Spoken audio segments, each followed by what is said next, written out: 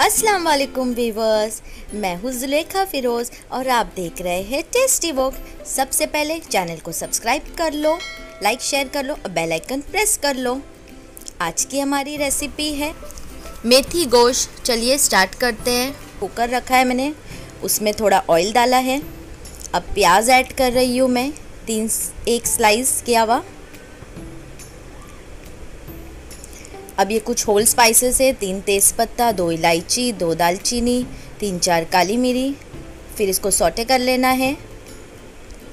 अब इसमें mutton add करेंगे हम। मैंने यहाँ एक किलो हड्डी के साथ वाला मटन लिया है।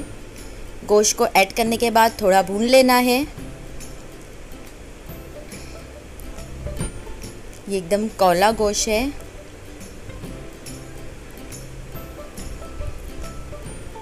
अब इसको थोड़ा भुनने के बाद हम इसमें अदरक, लहसुन, हरी मिर्ची का पेस्ट ऐड करेंगे।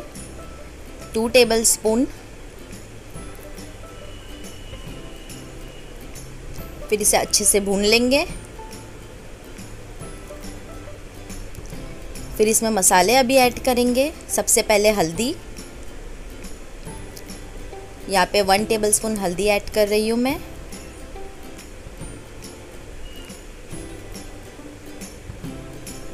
फिर धनिया पाउडर ऐड करना है।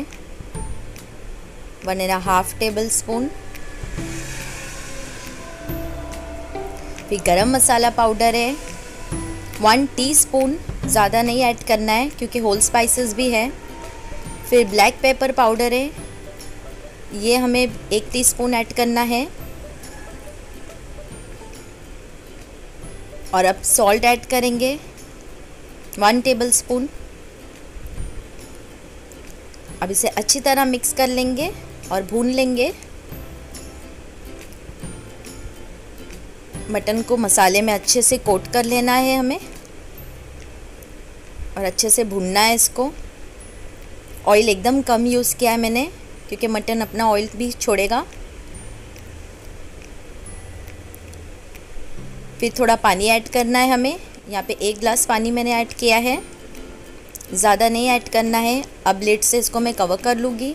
और मटन गलने तक छः से आठ सीटी बीस minute medium to low flame पर इसे पका लूँगी।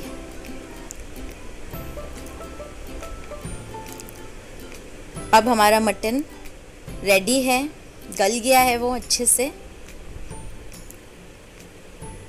इसे ऐसे भी रोटी के साथ सर्व कर सकते हैं। बहुत टेस्टी लगता है।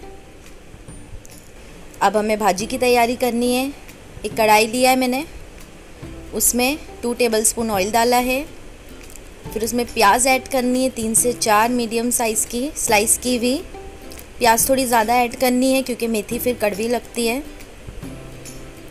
इसे सोटे करेंगे। तेल बहुत कम यूज़ करना है, क्योंकि मटन में भी है। अब तीन से चार हरी मिर्ची स्प्लिट करके मैंने डाल दी है।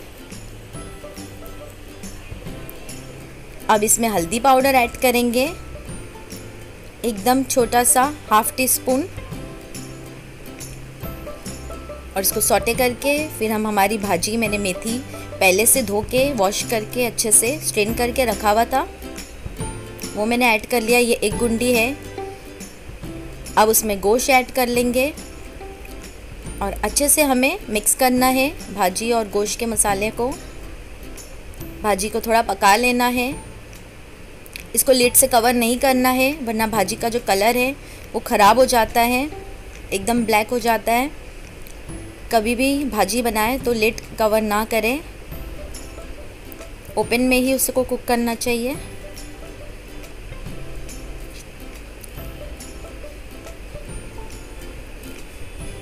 अब इसमें कोरिएंडर ऐड कर रही हूँ मैं। अच्छे से मिक्स कर लेना है। ये मैं ड्राई रख रही हूँ। अगर आपको थोड़ा सा ग्रेवी जैसा चाहिए तो आप इसमें थोड़ा सा पानी स्टेज पर ऐड कर सकते हैं। और फिर सिमर करके उसको सर्व करिए। मुझे एकदम सूखा चाहिए।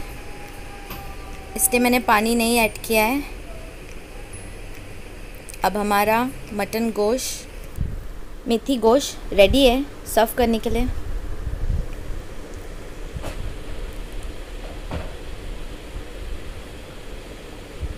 अब इसे हम सर्विंग प्लेट पर निकाल लेंगे। इसे रोटी, दाल राइस किसी के भी साथ आप सर्व कर सकते हैं।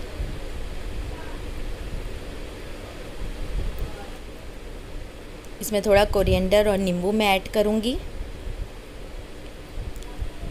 और बस रेडी है ये।